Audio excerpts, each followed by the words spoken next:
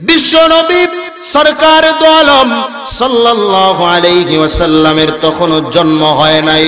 আল্লাহর নবীজির দাদা আব্দুল মুত্তালিব নবীজির জন্মের চল্লিশ দিন পূর্বে আব্রাহা বাদশাহ মক্কা বাইতুল্লাহ আল্লাহর ঘরকে আক্রমণ করার জন্য যখন আসতেছে, আল্লাহর ঘরকে ভাঙার জন্য যখন আসতেছে সুরায় ফিল যে সম্পর্কে নাজিল হয়েছে, ওই সময় আব্দুল মুত্তালিব নবীজির দাদা ছিলেন বাইতুল্লাহর মুতাওয়াল্লি, কাবার মুতাওয়াল্লি। আমাদের মসজিদের মুতাওয়াল্লি থাকে না? সেই বাইতুল্লাহ, কাবার মুতাওয়াল্লি ছিলেন রাসূলের দাদা আব্দুল মুত্তালিব। নবী তখনও জন্মগ্রহণ করেন নাই, কালিমার দাওয়াত তখনও কিন্তু দেন নাই। তখনও সবাই কিন্তু ওখানের মুশরিক। আব্দুল মুত্তালিব এত কঠিন মুহূর্তে বাইতুল্লাহ ভাঙার জন্য আসতেছে, তিনি কিন্তু জানেন, তিনি কোনো ব্যবস্থাও গ্রহণ করেন নাই, পরামর্শ সভা করলেন না, কোনো বৈঠক করলেন না, কারও সাথে কীভাবে তাদেরকে বাধা দেয়া যায় এই চিন্তাও করলেন না। মক্কার বুদ্ধিজীবীরা আব্দুল মুত্তলিব এই সময় গাছের থেকে পাতাগুলো ছিটতেছে, লাঠি দিয়া পাতা পেরে তারপরে বকরিকে খাওয়াবে ছাগলকে খাওয়াবে মক্কার বুদ্ধিমান লোকেরা বুদ্ধিজীবীরা আব্দুল মুত্তালিবকে ডেকে বলতেছে, ও মক্কার মুতাওয়াল্লি, কাবার মুতাওয়াল্লি আব্দুল মুতালিব আব্রাহা বাদশাহ কাবা ধ্বংস করার জন্য আসতেছে। আপনি কোনো বৈঠক করলেন না, কোনো সভা সমাবেশ করলেন না, কোনো পরিকল্পনাই করলেন না। তাদেরকে বাধা দেওয়ার কি ব্যাপার বুঝলাম না। আব্দুল মুত্তালিবের জবাবটা ভালো করে শুনে নাও। আব্দুল মুত্তালিব ডেকে বলতেছে, ও মক্কার বুদ্ধিমান কাবার মালিক হলেন ওই আল্লাহ। আমার পরিকল্পনার কোনো প্রয়োজন নাই। কাবার হেফাজতের দায়িত্ব সেই আল্লাহ পাকে। اے بندہ خدا چاہوگار ان کی ملاقات اے بندہ خدا چاہوگار ان کی ملاقات جلدی سے اب بیٹھے سنو حضرت کی نصیحات جلدی سے اب بیٹھے سنو حضرت کی نصیحات توفیق سے ہوتی ہے یہ نعمت کی خزینہ۔ توفیق سے ہوتی ہے یہ نعمت کی خزینہ۔ ہر مرد کی طاقت کی آور ہے نشانہ۔ ہر مرد کی طاقت کے آور ہے نشانہ۔ مقبول تو ہے شاز ہے، قابل تو بہت ہے۔ مقبول تو ہے شاز ہے، قابل تو بہت ہے۔ اینا کے منندے تو نہیں، دل تو بہت ہے۔ ऐना के मानंदे तू नहीं दिल तू बहुत है আলহামদুলিল্লাহ মুগরাকুল মাদ্রাসা জামে মসজিদ কমিটি ও যুব সমাজের উদ্যোগে আয়োজিত দুদিন ব্যাপী ওয়াজ ও দোয়ার মাহফিল এর আজ শেষের দিন বিশ সেপ্টেম্বর দু আজকের মাহফিলের প্রধান বক্তা জনাব আলহাজ হজরত মাওলানা কারি আমানুল্লাহ সিদ্দিকী বাকরি হুজুর, আল্লাহ পাক হজরতের হায়াতের মধ্যে বরকত দান করুক সকলে বলি আমিন। উপস্থিত আছেন আজকের মাহফিলের প্রধান অতিথি, বিশেষ অতিথিবৃন্দ এবং আমার সামনে উপবিষ্ট এলাকার বিভিন্ন স্থান থেকে আগত আল্লাহ পাকের আশিকিন, জাকিরিন, মুহিব্বিন আল্লাহ প্রিয় রসুল প্রিয় কোরআন প্রিয় সুন্না প্রিয় ইসলাম প্রিয় তৌহিদি জনতা। এ মাহফিলে আসতে পেরে আপনারা খুশি না বেজার? আওয়াজ করে বলেন, খুশি না বেজার? খুশির জন্য আল্লাহ পাকের দরবারে শকর আদায় করা যাবে? আসতে না জোরে? আসতে না জোরে? সকলে মোহাব্বতের সাথে। আল্লাহ আল্লাহ রসুলের প্রতি সবটুকুনো ভালোবাসা আর মহাব্বত নিয়ে দিল থেকে প্রাণটাকে উজাড় করে দিয়ে কালিমাতে শুকর আদায় করি, সকলেই বলে উঠি, আলহামদুলিল্লাহ। প্রশংসা হবে সব সময় একমাত্র কার জন্যে? আরও জোরে বলেন, কার জন্যে? সুখে থাকলে প্রশংসা কার? দুঃখ হলে প্রশংসা কার? আল্লাহর নবী, পয়গম্বর আরবি সাল্লাল্লাহু আলাইহি ওয়াসাল্লাম ঘোষণা দিয়ে দিলেন আউয়ালু মান ইউদা ফিল জান্নাহ আউয়ালু মান ইউদা ফিল জান্নাহ الذين يحمدون الله في السراء والضراء আল্লাহর নবী জানা দেয় ওরে উম্মতের দল সুখে থাকা অবস্থায় দুঃখে থাকা অবস্থায় আনন্দেও থাকবে, যখন কষ্টেও থাকবে সব অবস্থায়। কোন বান্দা যখন, আমার কোন উম্মত যখন, আল্লাহ পাক রব্বুল আলামিনের প্রশংসা করবে সর্বদা। আল্লাহর নবী বলে দিচ্ছেন, কেয়ামতের ময়দানে এই প্রশংসাকারীদেরকে আল্লাহ পাক রব্বুল আলামিন সর্বপ্রথম জান্নাতের মধ্যে ঢুকায় দিবে। আরও আসতে কন সুবাহান আল্লাহ আগে জান্নাতে যেতে চান তো আপনারা? আরও জোরে বলেন। শুধু প্রশংসা করে নাকি ইমান আমলও ঠিক করা লাগবে? আরও জোরে কন। জান্নাতে যাওয়ার জন্য দুটো শর্ত, কয়টা শর্ত? সবাই বয়ান মুখস্থ করবেন, রাজি আছেন ইনশাআল্লাহ? ইনশাআল্লাহ। জান্নাতে যাওয়ার জন্য কয়টা শর্ত? ইন্নাল্লাযীনা আমানু ওয়া আমিলুস সালিহাত। কানাত লাহুম জান্নাতুল ফিরদাউসি নুজুলা। আল্লাহ পাক রব্বুল আলামিন জানায়া দেয়, বান্দা নিশ্চয়ই যারা ঈমান আনয়ন করেছে, ঈমান আনয়ন করবে। ওয়া আমিলুস সালিহাত সাথে সাথে যারা নেক আমল করবে, কানাত লাহুম জান্নাতুল ফিরদাউসি নুজুলা। আমি আল্লাহ কিয়ামতের ময়দানে ওই পরকালের জীবনে এই ঈমান আর আমলকারী বান্দার জন্য জান্নাতের ব্যবস্থা করে রেখে দিয়েছি। জান্নাতে যেতে চান না কারা কারা? জান্নাতে যেতে চান তো সবাই। ওয়া ওয়ামাইয়ামাল মিনাস সলিহাত। وهو مؤمن فأولئك يدخلون الجنة ولا يظلمون نقيرا ومن يعمل من الصالحات من ذكر أو أنثى وهو مؤمن فأولئك يدخلون الجنة আল্লাহ পাক রব্বুল আলামিন ভিন্ন আয়াতে জানা দেয় চাই নারী হোক বা পুরুষ হোক কোন নারী আর পুরুষ যদি নেক আমল করে ওহুয়া মুমিন তবে শর্ত হলো নেক আমলটা করতে হবে ইমান অবস্থায়, কোন অবস্থায়? আর জোরে বলেন, কোন অবস্থায়? ওহুয়া মুমিন অবস্থায় নেক আমল করতে হবে, তাহলে জান্নাতে যাওয়া যাবে। যদি কেউ ঈমান ছাড়া নেক আমল করে, জান্নাতে যাওয়া যাবে নাকি? আরও জোরে বলেন। বুঝে বলছেন না না বুঝে বলছেন? আমার কথা বোঝা যায় তো? কথা বোঝা যায়? না বুঝলে তো ওয়াজ করে লাভ নাই। কথা বলেন ঠিক কিনা? তাহলে কি বুঝলাম? জান্নাতে যাওয়ার জন্য কয় শর্ত? দুইটা শর্ত। এক নম্বরে এক নম্বরে কি? ইমান এক নম্বরে কি?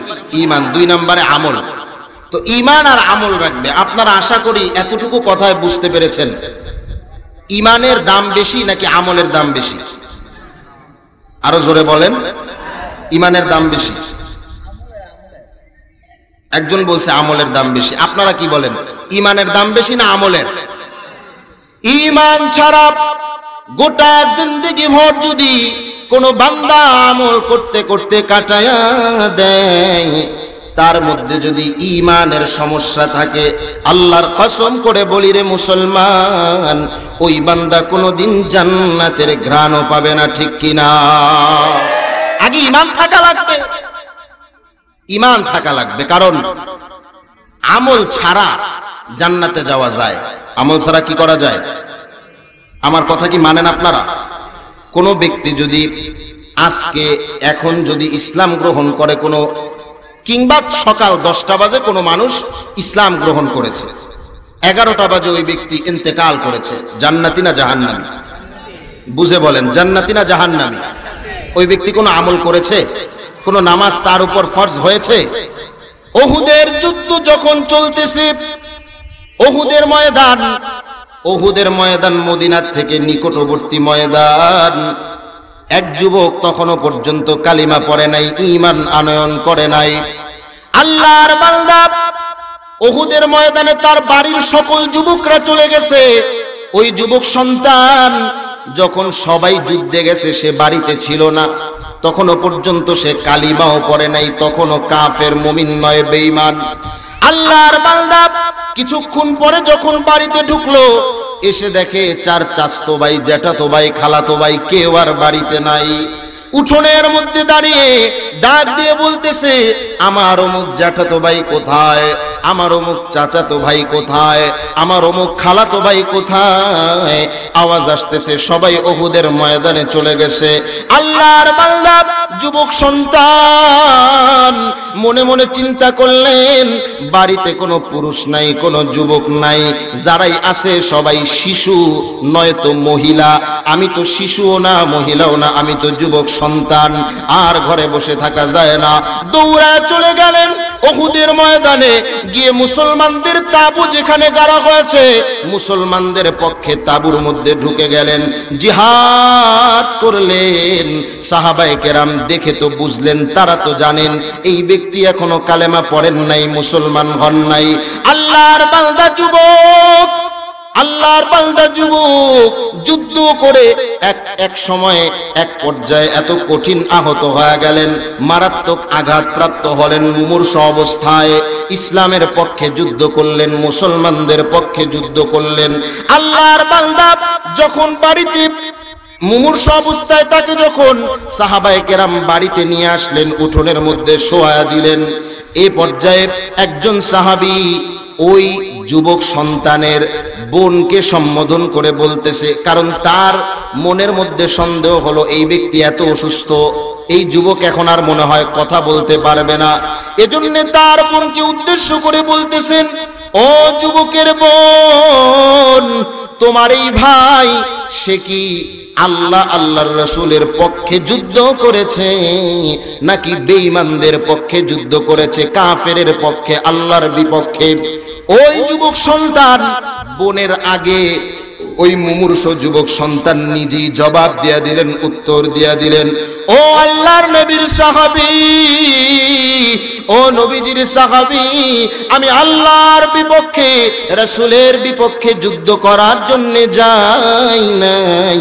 আমি আল্লাহ, আল্লাহর রসুলের পক্ষে যুদ্ধ করেছি। আল্লাহর রসুল সাল্লাল্লাহু আলাইহি ওয়াসাল্লাম যাদের ব্যাপারে জান্নাতের সুসংবাদ দিয়েছেন দশজন হচ্ছেন প্রসিদ্ধ। এছাড়া আরও অনেকেই আছেন যাদের ব্যাপারে রাসূল জান্নাতের সুসংবাদ দিয়েছেন। যে সমস্ত লোকগুলোকে রাসূলে পাক জান্নাতি বলেছেন, এই মুমূর্ষ যুবক সন্তানটাও জান্নাতি মানুষদের মধ্যে একজন। কালিমা পড়ছে, মুসলমান হইছে, যুদ্ধ করছে, একা একা। কেউ জানেও না সে কি ইমানদার নাকি ইমান হারা আমল করার সুযোগ পাইছে? আরও জোরে বলেন, শুধু জিহাদে গেছে, জিহাদ করছে। এছাড়া আর কোনো আমল পায় নাই।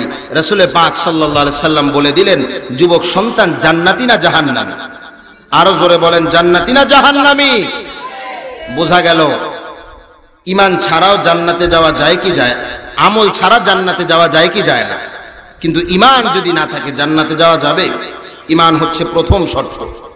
মাছ ধরার একটা যন্ত্রের নাম হচ্ছে জাল। মাছ ধরার যন্ত্রের নাম কি? জাল। জাল যদি কিছুটা ছিঁড়া থাকে, ফাটা থাকে, যদি জাল দিয়ে খেওয়ায়, খালে, নদীতে বিলে পুষ্কুনিতে ওই জালে কি মাছ উঠবে? উঠবে না? জাল খেওয়ানি নাই আপনারা, জানেন। যদি কিছুটা ছেঁড়া, ফাটা থাকে, মাছ উঠবে না? উঠবে। কিছু মাছ উঠবে, কিন্তু মাছ যেই পাত্রে আপনি রাখেন, কি বলা হয়? ডোলা পাত্র বা ডোলা ওই ডোলার তলা যদি থাকে খোলা, তাহলে কি মাছ থাকবে না পড়ে যাবে? মাছ যুক্ত হবে না শেষ হবে? আল্লাহর বান্দা নবীর উম্মতির দল, তোমার মধ্যে যদি ইমান নামের দৌলত ইমান নামের সম্পদ যদি থাকে, আমল তুমি যত করবা, তত আমল তোমার যুক্ত হবে, বাড়তেই থাকবে বাড়তেই থাকবে। ইমান নামক মহা সম্পদ যদি তোমার না থাকে তুমি সারা জিন্দিগি ভরা আমল করতে পারো, কিন্তু তোমার আমলের খাতা কেয়ামতের ময়দানে শূন্যই থাকবে, কথা কন ঠিক কিনা? সুতরাং আগে আমাদের ইমানটা ঠিক করা লাগবে, কথা কোন ঠিক কিনা? আরও জোরে বলেন ঠিক কিনা? আমি আপনাদের সামনে কোরআনে কারিমের সুরায় নিসার একশো ছত্রিশ নম্বর আয়াত তেলাওয়াত করেছি। আয়াতে কারিমার মধ্যে আল্লাহ পাক রব্বুল আলামিন বলেন আমানু আমিনু বিল্লাহ। দেখেন, খেয়াল করেন কথা, খুব খেয়াল করেন। আমানু আমিনু হে ইমানদারেরা তোমরা ইমান আনো। কথা কি বুঝলেন? হে ইমানদারেরা তোমরা ইমান আনো। ইমানদার তার মানে তো ইমান আসে নাকি বলেন? আল্লাহ কাদেরকে সম্বন্ধ করেছেন? ইমানদারদেরকে কাদেরকে? ইমানদারদেরকে সম্বন্ধ করে কি বললেন? কি বললেন? ইমান আনার জন্য। তার মানেটা কি হলো? ইমান আসে তারপরও আমাদেরকে বললেন, আল্লাহ পাক রব্বুল আলমিন ইমান আনার জন্য। কলেজের মধ্যে ছাত্র একটা ভর্তি হলো। এবার প্রিন্সিপাল সাহেব আবার বলতেছেন, বাবা তুমি ভালো করে ভর্তি হও, বাবা তুমি কলেজের মধ্যে ভর্তি হও। ওই ছেলেটা যদি গয়াকার গা আর ধয়াকার ধা হয়, গয়াকার গা, ধয়াকার ধা কি হয়?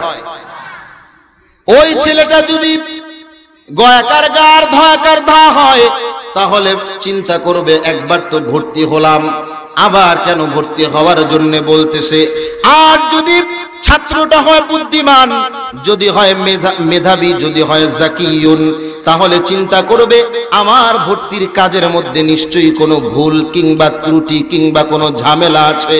হয়তো দুই কপি ছবি দেওয়ার প্রয়োজন ছিল, দিতে আমার মনে নাই। সিগনেচার দেওয়ার প্রয়োজন ছিল, দিতে মনে নাই। হয়তো নাম্বার দেওয়ার প্রয়োজন ছিল, নাম্বার দিতে আমার মনে নাই। সুতরাং ছেলেটা অফিসিয়াল ভাবে অফিসে যোগাযোগ করে আবার তার ভর্তির কাজটা সম্পন্ন করবে, কথা বলেন ঠিক কিনা? মুসলমান, ইমানদারের দল, ইমানদার তো আমরা দাবি করি, মুমিন আমরা দাবি করি, কিন্তু আমাদের ইমানের মধ্যে, বহু ইমানদারের মধ্যে ঝামেলার কোনো শেষ নাই। এই ঝামেলা যুক্ত ইমান নিয়ে আল্লাহর জান্নাতে যাওয়া যাবে না, ঠিক কিনা ইমানকে ঝামেলা মুক্ত করার দরকার আছে না নাই? আরও জোরে বলেন, আছে না নাই? ইমানকে ঝামেলা মুক্ত করতে যদি পীর বাদ দিতে হয়, রাজি আছেন নাকি? সবাই রাজি নাই? ইমান ভেজাল মুক্ত করতে যদি আপনার সন্তানকে বাদ দিতে হয়, রাজি আছেন নাকি?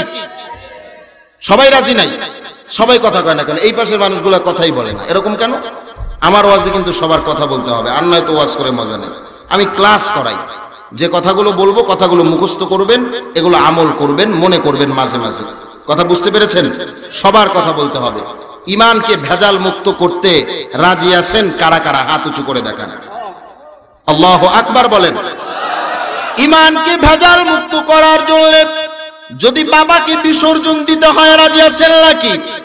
যদি সন্তান বিসর্জন দিতে হয়, যদি আপনার নেতাকেও বিসর্জন দিতে হয়, রাজি আছেন নাকি? ইমানকে যদি বাঁচাতে হয়, পীরও বাদ দেয়া লাগতে পারে। আবার বক্তাও বাদ দেয়া লাগতে পারে, রাজি আছেন নাকি? তারপর ইমান ঠিক করবেন তো ইনশাআল্লাহ। ইমান যদি ঠিক করতে হয়, আল্লাহ পাক রব্বুল আলমিনের উপর ইমানটা আগে পরিপূর্ণভাবে আনতে হয়। কারণ ইমানের সর্বপ্রথম দরওয়াজাই হচ্ছে আল্লাহর উপর ইমান আনা, কার উপর ইমান আনা? আর জোরে বলেন, কার উপর? আল্লাহর উপর ইমান আনার দরওয়াজা দিয়া ঢুইকা তারপরে রসুলের উপর, কিতাবের উপর ফেরেস্তার উপর, সব বিষয়ের উপর ইমান আনা লাগবে। সর্বপ্রথম যেই কাজ, সেটা হলো আল্লাহর উপরে ইমান আনা। কার উপরে ইমান আনা? আল্লাহ পাক সেই ইমানদারদেরকে বললেন আমানু আমিনু ও ইমানদারেরা, আমি আল্লাহর উপর ইমান আনো। কথা লম্বা করার সুযোগ নাই। সময় খুবই সংক্ষিপ্ত। সময় ক্ষিপ্ত সংক্ষিপ্ত। কথা বুঝতে পেরেছেন? যাই হোক, মূল আলোচনায় ঢুকে যাচ্ছি। এখানে তোমরা ইমানদারেরা ইমান আনো। আল্লাহর প্রতি এই কথার সাথে আরও চারটা কথা জড়িত। কয়টা কথা? আল্লাহর উপর ইমান আলো এই কথার সাথে কয়টা কথা জড়িত? চারটা কথা। মনে, এই চারটা কথা আপনারা মুখস্থ করবেন। না হলে পরের আলোচনা বুঝবেন না। এক নাম্বার আল্লাহ পাকের অস্তিত্ব মানা, সবাই বলেন। আল্লাহর অস্তিত্ব মানা। দুই নাম্বার, আল্লাহর সিফত গুণাবলী মানা। তিন নাম্বার, আল্লাহর আইন মানা। চার নাম্বার, আল্লাহর ক্ষমতা মানা।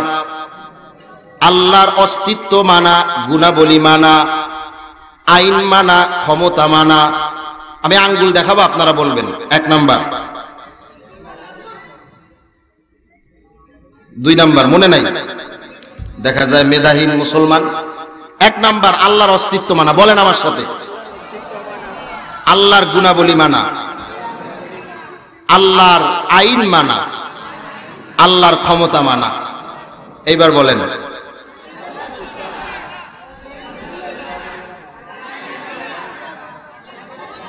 এক নম্বরে আল্লাহ পাক রব্বুল আলামিনের অস্তিত্ব মানা।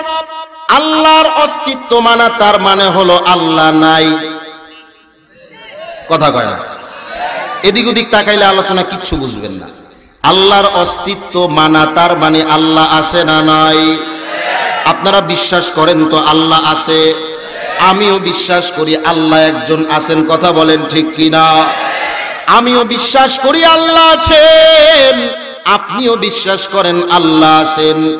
আবু জেহেলরাও বিশ্বাস করত, আল্লাহ একজন আছে। কথা বিশ্বাস হয় না? আবু জেহেলরাও বিশ্বাস করত, আল্লাহ একজন আছে। এই কথা মনে হয় আগে কখনো শোনেন নাই। দলিল নেন কোরআনে কারিমের। ওয়ালাইন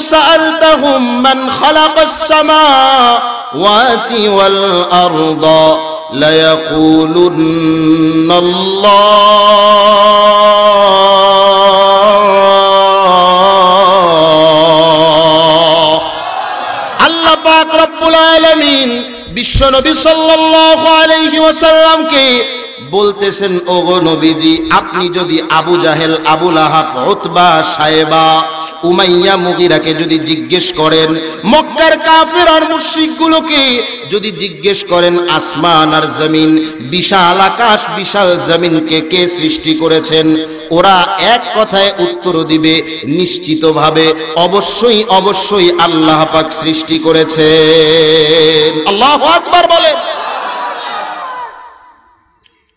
দলিল হিসেবে কোরআনে কারিমের কয়টা আয়াত লাগে? কয়টা আয়াত যথেষ্ট? একটা আয়াত কি যথেষ্ট নয়? এক আয়াতই যথেষ্ট? এ ধরনের আয়াত কোরআনে কারিমে বহু এ ধরনের আয়াত আছে। আব্দুল মুত্তালিব নবীজির কি হন? নবীজির চাচা প্যাস লাগিয়ে ফেলাইছে। আব্দুল মুত্তালিব কি হন? নবীজির দাদা আব্দুল মুতালিব আল্লাহ আল্লাহ, তু মেরা খালে কহায় আল্লাহ আল্লাহ, তু মেরা মালিক হয়। বুঝা গেল, তখনকার মুশ্রিকেরা আল্লাহ আছে বলে মানত না নাকি মানত? আর জোরে বলেন। কথা কি আমার বুঝতে পারতেছেন আপনারা? নবী সাল্লাল্লাহু আলাইহি ওয়াসাল্লাম জন্মগ্রহণ করলেন, চল্লিশ বৎসর পর্যন্ত কালিমার দাওয়াত দেন নাই, কথা বলেন ঠিক কিনা? নাকি দিছেন? চল্লিশ বছর পর্যন্ত দিছেন? চল্লিশ বছর পরে তো রাসুল সাল্লাহ সাল্লামকে নবুয়াদ দেয়া হয়েছে। এর আগ পর্যন্ত তিনি কালিমার দাওয়াত দিয়েছেন। দেন নাই। চল্লিশ বছর ছয় মাস যখন হলো, আল্লাহর নবী পয়গম্বর আরবি সাল্লাল্লাহু আলাইহি ওয়াসাল্লাম হিরা গুহার মধ্যে নবীজির উপরে ওহি নাজিল হয়ে গেল প্রথম পাঁচ আয়াত কয় আয়াত পারেন পারেন পড়েন যারা পারেন اقرأ باسم ربك الذي خلق خلق الإنسان من علق اقرأ وربك الأكرم الذي علم بالقلم আল্লামাল উপরে হওয়ার পর নবী ঘরে চলে আসলেন। তখন রাসুলের ঘরে মাত্র একজন বিবি ছিলেন। নাম কি তার? দেখছ? সন্দেহ। খাদিজা রাদিয়াল্লাহু তাআলা আনহা। খাদিজার সাথে রাসুলের যখন বিবাহ হয় খাদিজা রাসুলের চাইতে পনেরো বৎসরের বড়। রাসূলের বয়স যখন পঁচিশ, খাদিজার বয়স তখন চল্লিশ। এখন রাসূলের বয়স চল্লিশ, খাদিজার বয়স হলো পঞ্চান্ন। এই খাদিজা তাআলা আনহাকে ডেকে ডেকে বলতেছেন, ও খাদিজা, আমার প্রাণের স্ত্রী আমাকে কম্বল দাও, জাম্মিলুনি জাম্মিলুনি। আমাকে একটা কম্বল দাও। আমার মনে হয় প্রচণ্ড জ্বর এসে যাচ্ছে। রাসূলে পাক কাঁপতেছেন। হযরতে খাদিজাতুল কুবরা রাদিয়াল্লাহু তাআলা আনহু পাক সাল্লাল্লাহু আলাইহি ওয়াসাল্লামকে কম্বল মুড়ি দিয়ে দিলেন। পাক কিছুক্ষণ কম্বলের নিচে থাকলেন। এরপরে অবস্থা যখন স্বাভাবিক হলো, রাসূলে পাক সাল্লাল্লাহু আলাইহি ওয়াসাল্লাম কম্বলটা যখন একটু সরালেন, হযরতে খাদিজাকে ডাক দিয়ে বলতেছেন, ও খাদিজা হেরা গুহার ঘটনাগুলো রাসুল শোনালেন বিস্তারিত বলার সুযোগ নাই। খাদিজাকে ডেকে আবেগ ভরা কণ্ঠ নিয়ে বলতেছেন, ও খাদিজা, আমি মনে হয় আর বেশি দিন বাঁচবো না। এই এই ঘটনা রাসূল কান্না কান্না সুরে আবেগ ঘন কণ্ঠ নিয়ে কথাগুলো বলতেছেন, হযরতে খাদিজাতুল কুবরা রাদিয়াল্লাহু তাআলা আনহা। তখন কি জবাবটা দিলেন খেয়াল করে শোনরে মুসলমান, হযরতে খাদিজাতুল কুবরা রাদিয়াল্লাহু তাআলা আনহু কিন্তু তখনও জানেন না তিনি যে নবুয়ত পেয়েছেন তখনও কিন্তু জানেন না, তখনও খাদিজাকে কালিমার দাওয়াত দেওয়া হয় নাই। তখনও তিনি জানেন, মোহাম্মদ শুধু আমার স্বামী, এর চাইতে বেশি কিছু জানেন না। আল্লাহর নবী সাল্লাল্লাহু আলাইহি ওয়াসাল্লাম তখনও তাকে ইমানদার হওয়ার দাওয়াত দেন নাই। খাদিজা রাসূলকে সান্ত্বনার বাণী শোনায়া দেয়। বুখারী শরীফের বর্তমান বুখারীর হাদিস, ওয়াল্লাহি লা ইউখজিকাল্লাহু আবাদা। তখনও আল্লাহর দাওয়াত দেন নাই। খাদিজা, একবার নয়, দুবার নয়, এতটুকু একটা সান্ত্বনার বাক্যে রাসুলে পাক সাল্লাহ যে সান্ত্বনার বাণীটা শোনালেন, সেখানে দুইবার আল্লাহর নাম বললেন আল্লাহর শপথ আল্লাহ আবাদা। আল্লাহ পাক রব্বুল আলামিন আপনাকে কখনোই অপমানিত করবেন না, কারণ আপনার সাথে আমি এত বৎসর যাবৎ পনেরো বৎসর একই ঘরে থেকেছি, একই কম্বলের নিচে আপনার সাথে সংসার করেছি। সুতরাং আপনাকে আল্লাহ পাক কখনো অপমানিত করবেন না। বুঝা গেল? খাদিজা, আল্লাহ আছে এটা বিশ্বাস করতেন নাকি করতেন না? আরও জোরে বলেন, করতেন নাকি করতেন না? দলিল কি আরও লাগবে না হইছে? যাক, বুঝা গেল? তখনকার সময়ের মানুষগুলো মুশরিক যারা তখনও কালিমার দাওয়াত পান নাই, তারাও আল্লাহ পাক রব্বুল আলমিনের অস্তিত্ব মানত, কথা বলেন ঠিক কিনা? আরও জোরে বলেন ঠিক কিনা? সুতরাং আমরাও যদি শুধু আল্লাহ পাকের অস্তিত্ব মানি, তাহলে তো আবু জেহেলকে আবুল আহাবকেও ইমানদার বলা লাগবে, কথা বলেন ঠিক কিনা? আরও জোরে বলেন ঠিক কিনা? কিন্তু আবু জাহেল আবুল আহাব কি ইমানদার? তার সাথে আমার সাথে পার্থক্য করার প্রয়োজন আছে? আরও জোরে বলেন, আছে? পার্থক্য যদি করতে হয়, এবার আসেন। দুই নাম্বার কথা কি ছিল? মনে নাই? আল্লাহ পাকের গুণাবলীকে মানা। আল্লাহ পাকের কি মানা?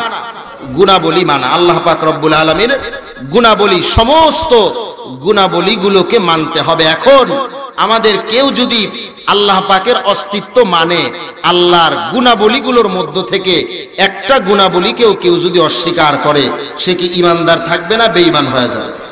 আরও জোরে বলেন, কথার কথা।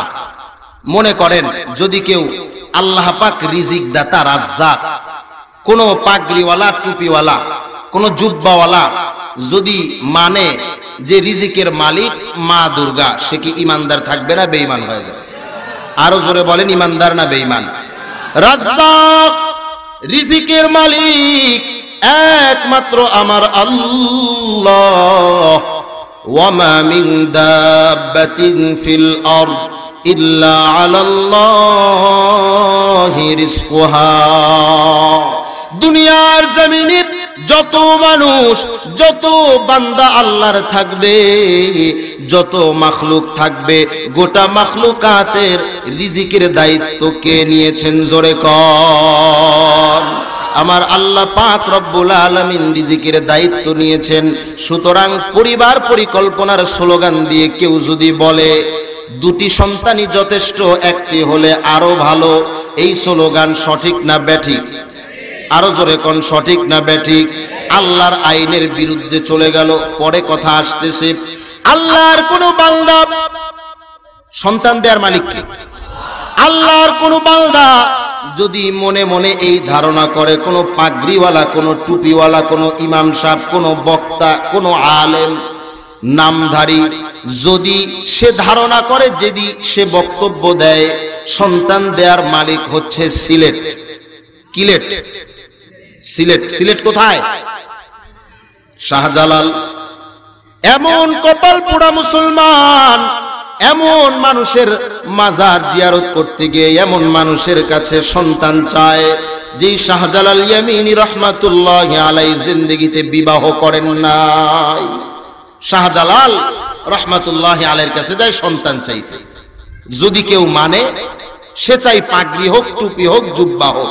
যদি কেউ বলে, সন্তান শাহজালালের কাছে চাইলে পাওয়া যাবে, তিনি দিতে পারবেন, সে ইমানদার না বেঈমান। সন্দেহ আছে? সন্দেহ আছে? সুতরাং, ইমানটাকে ঠিক করো মুসলমান। আপনি যদি একটু তালাশ করেন, আপনি যদি একটু খোঁজ নেন, দেখবেন আপনার আশেপাশের অনেক মানুষের মধ্যে এই বিশ্বাস আছে না নাই। আরও জোরে বলেন, আছে না নাই? মনে করেন এলাকার মধ্যে এক হাজার মানুষ, কত হাজার? মনে করায়, আমরা মনে করে এই বলে অঙ্ক করি না? মনে করি এত টাকা নিয়ে এসে বাজারে গেল। এত টাকার বাজার করল। করি না এইভাবে। এক অঙ্কের মাস্টার, বিসিএস, সে অঙ্ক করতেছে। আপনার শ্বশুর বাড়ি থেকে বউ নিয়া নদী পার হচ্ছে, তো সে অঙ্ক মিলাইতেছে। মনে করি আমার মানে সামনে আবার খাল একটা, ওই খাল পাড়ি দিতে হবে ঘোড়া নিয়ে। তো সে বলতেছে, মনে করি ঘোড়ার পা দৈর্ঘ্যে এত ফুট, আর খালের পানি কম ছিল, খালের পানি এতটুকু। সে কমই ধরলো বা তুলনামূলক কম ছিল। এই চিন্তা করে দেখে যে না, অঙ্ক তো মিলে গেছে। অঙ্ক কি হয়ে গেছে? মিলে যখন গেছে, এই চিন্তা করে বেচারা ঘোড়া নামায় দিছে, খালের মধ্যে। তো এখন খালে যত নামে ঘোড়া, তত ডুবে। যত নামে তত কি হয়? ডুবে। তো বেচারা চিন্তা করতেছে, আমার অঙ্ক তো মিলে গেল। ঘোড়া তো ডোবার কথা নয়, ঘোড়া ডুবতেছে কেন? এরকম আমাদের দেশের অনেক মুসলমানের অঙ্ক মিলে যায়, কিন্তু তার ঘোড়াও কিন্তু ডুবে যায়। কথা বলেন ঠিক কিনা? আরও জোরে বলেন ঠিক কিনা? জান্নাতে যাওয়ার ঘোড়া কিন্তু উপরে থাকে না, ডুবেই যাচ্ছে, কিন্তু ওই মুসলমানের খবর নাই। কথা বলেন ঠিক কিনা? হাম মুসলমান হে মগর হামে مسلمانی نہیں۔ ہم مسلمان ہیں مگر ہم میں مسلمانی نہیں۔ ہم مومن ہیں مگر ہم میں ایمان کامل نہیں۔ کتھا بولیں ٹھیک کی نا تو ٹھیک ঠিকই اچھی কিন্তু আমাদের মধ্যে কামেল ইমান নাই। মুসলমান নাম ধারণ করেছি, পরিপূর্ণ মুসলমান এখনও হতে পারে নাই। মুসলমান তো গর্দান আল্লাহর দরবারে ফালায়া দেওয়ার নাম। আল্লাহর জন্য জীবনটাকে বিসর্জন দিয়ে দেওয়ার নাম মুসলমানি বুয়াদ গর্দান নেহাদান আইনানে খুদ বদস্তে খাজাদাদান গর্ব সুরত আদমি ইনসাবুদে আহমদ বু জাহলো হামেক সাবুদে আদমিয়া আদমিয়ত লাজেমাস্ত উদরা গর্বুন বাসি হয় জামাস, কথা বলেন ঠিক কিনা? মুসলমান হচ্ছে আল্লাহর দরবারে, নিজের জীবনটাকে বিসর্জন দেওয়ার নাম। কত মানুষ মুসলমান দাবি করে, দাবি করলে ইমানদার আর মুসলমান হওয়া যায় না। যদি হওয়া যাইতো, আল্লাহর নবী সাল্লাল্লাহু আলাইহি ওয়াসাল্লামের চেহারা আর আবু জাহেলের চেহারা সুরতান দেখতে কিন্তু একই রকম ছিল, কথা বলেন ঠিক কিনা?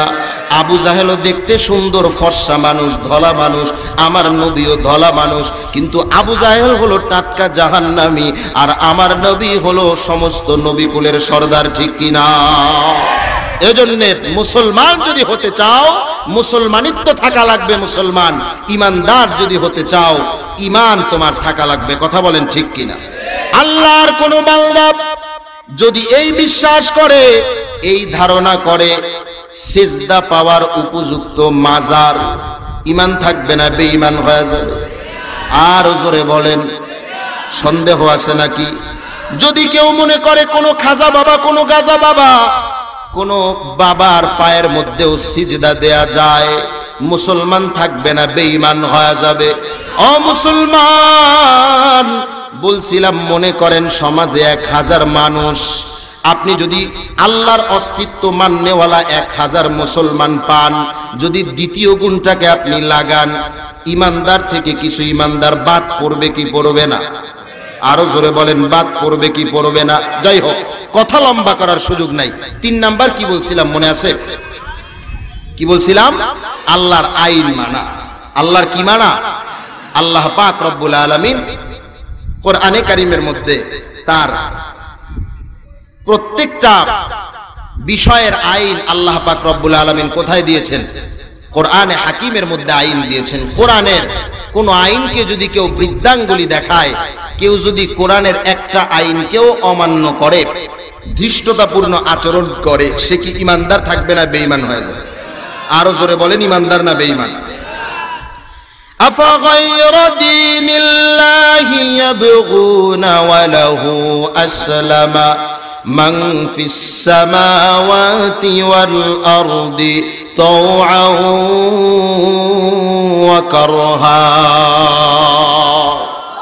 আল্লাহ পাক রব্বুল আলামিন বলেন এত সুন্দর নিয়ামত তোমাকে দান করলাম তোমার দুটো চোখ দিলাম, কান দিলাম, নাক দিলাম, জবান দিলাম, কিডনি দিলাম। এত কিছু দেওয়ার পর আমি তোমাকে দুনিয়াতে পাঠাইলাম। তুমি দুনিয়ায় গিয়া অন্য দিন মানো, অন্য ধর্ম পালন করো, অথচ গোটা দুনিয়ার এই বিশাল আকাশ, এই বিশাল জমিন, বিশাল সূর্য, বিশাল চন্দ্র কার আদেশ মানে? আরও জোরে বলেন, কার আদেশ মানে? এই যে বিশাল সমুদ্রের পানিগুলো কার আদেশ মানে? মারাজাল বাহরাইনি ইয়ালতাকিয়ান বিশাল সমুদ্রের মধ্যে সমুদ্রের পানিগুলো লবণাক্ত, নদীর পানিগুলো মিষ্টি, খালের পানি, বিলের পানি মিষ্টি না লবণাক্ত? মিষ্টি পানি, সমুদ্রের পানি লবণাক্ত দুই পানির মিলন মেলা ঘটতেছে এক পানি আরেক পানির মধ্যে মিশতেছে, কিন্তু তারপরেও সমুদ্রের লবণাক্ত পানির কারণে নদীর পানি কখনো লবণাক্ত হয় নাই, ঠিক কিনা? বিধান মানল কার? মুসলমান, চিন্তা করে দেখো, তুমি দশ বছর পর্যন্ত সরকারি চাকুরি করো, দশ বছর পর্যন্ত? সরকারি চাকরি করো, সকাল দশটা থেকে বিকাল পাঁচটা পর্যন্ত তোমার ডিউটি। তুমি একটু নিজেকে জিজ্ঞেস করে দেখো, তুমি কি কোনোদিন এক মিনিটও তোমার কি হেরফের হয় নাই টাইম কথা বোঝেন নাই? তোমার কি এক মিনিটও সময় টাইম আকপিস হয় নাই? আল্লাহর বানানো সূর্য বিজ্ঞানীরা বলেন, সূর্য পৃথিবীর চাইতে তেরো লক্ষ গুণে বড় এই সূর্য। আজকে কোটি কোটি বছর ধরে আল্লাহর বানানো এই সূর্য পূর্ব দিক থেকে ওঠে, পশ্চিম দিকে অস্ত যায়। আজও পর্যন্ত সূর্য আল্লাহর বিধানের এক কিঞ্চিত পরিমাণ আইন অমান্য করে নাই, ঠিক কিনা? ইমানদার দাবি করে তুমি যদি আল্লাহর আইনকে অমান্য করো, তোমার ইমান থাকার কোনো অবকাশ নাই। আমি যদি মাদ্রাসা চালাই, আমার মাদ্রাসার আইন যদি আমার ছাত্র অমান্য করে, আমার ছাত্রকে আমি মাদ্রাসা থেকে বের করে দেই। কেউ যদি দল করে, যদি কেউ দলের আইনকে ভঙ্গ করে, দল থেকে বের হয়ে যায়, আর তুমি আল্লাহর আইনকে অমান্য করে ইমানদার থাকবা, আবার সেই ইমান নিয়ে জান্নাতে যাইবা। তুমি ভাবতেই পারবা কোনোদিন জান্নাতের মেহমান হতে পারবা না, ঠিক কিনা? আল্লাহ পাক কোরআনে আইন দিয়ে দিলেন আহাল্লাল্লাহুল বাইআ ওয়া হাররামার রিবা। আল্লাহ পাক বাইকে, ব্যবসাকে হালাল করে দিয়েছেন। আল্লাহ পাক সুদকে হারাম করে দিয়েছেন। এখন আল্লাহর কোন বান্দা যদি আল্লাহর এই আইনকে বৃদ্ধাঙ্গুলি দেখায়া যদি বলে, সুদকে আল্লাহ হারাম করেছেন, তাতে কি হয়েছে? যদি অহংকারী দেখায়, আমি সুদের ব্যবসায়ী বেশি বেশি করব। ওরে মুসলমান, আল্লাহর আইন যদি অমান্য করে, বলেন তো দেখি সেই ব্যক্তি ইমানদার থাকবে নাকি বেঈমান হয়ে যাবে?